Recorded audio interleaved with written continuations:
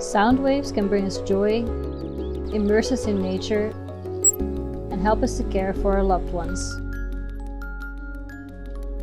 But did you know that sound waves with a pitch so high that we can't hear it can also treat back pain? It sounds like science fiction, but engineering is making this a reality.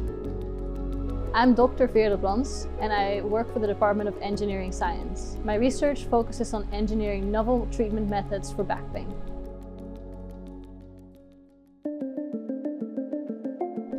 Globally, over 600 million people suffer from chronic back pain, which is strongly associated with degeneration of the spinal disc. The spinal disc is the elastic cushion that sits between the bones in your spine and functions as a shock absorber, allowing you to walk and jump up and down without an issue. Due to aging and environmental factors, these cushions lose their height and therefore their ability to absorb shocks, causing pain as the bones rub together.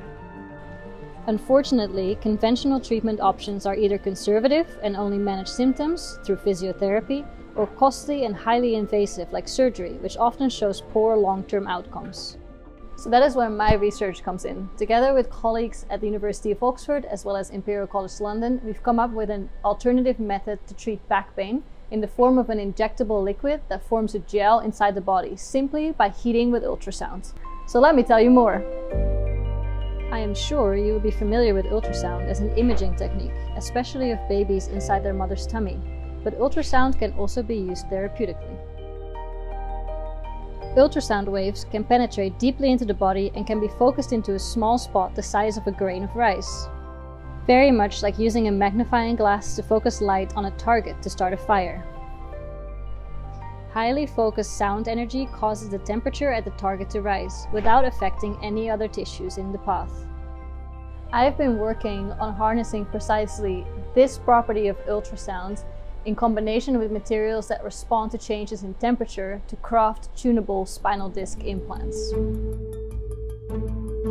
The implant material is an injectable liquid consisting of two components.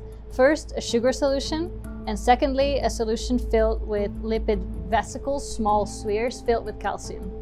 The lipids inside these vesicles change shape as they are heated to 41 degrees Celsius, causing them to become leaky. The leaked calcium causes the sugars to link up and form a big network. In this way, simply by heating this mixed material, we're able to turn it from a liquid into a gel. It's pretty impressive engineering.